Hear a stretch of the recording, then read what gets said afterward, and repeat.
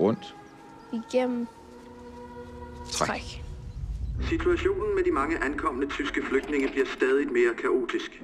Værnemagten vil sprede de mere end 200.000 civile tyskere til hele landet. Ihre Schule ist nicht die einzige. Men det går jo ikke. De kan ikke bare komme her og hunds med os. Entschuldigung. 523 Leute. Der er jo ikke plads til så mange i gymnastiksalen. Jeg forstår godt, at det er svært at acceptere den her situation. Og vores aftale med Vandemagten er klar. Vi passer os selv, og tyskerne sørger for deres egne. Mein Kind ist sehr krank. Sie müssen mit die deutschen Soldaten reden. Sie sind alle weitergezogen. Es sind keine Soldaten hier geblieben. Der er 18 i alt, der er døde, mens de har været her. Men det kan da ikke være rigtigt, at vi som højskole skal stå alene med det her problem. Hvad sker der med dem, der hjælper tyskerne? Den skal vi også tale med. Men hvor mange flere skal dø?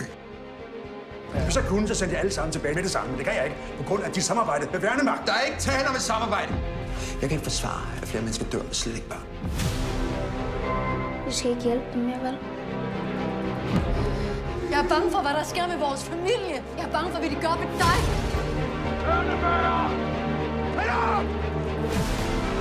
Det her, det gælder den danske frihedskamp. Står du og truer os? Vi er i krig! Du er ligesom din far, Søren. Jeg er ikke ligesom min far!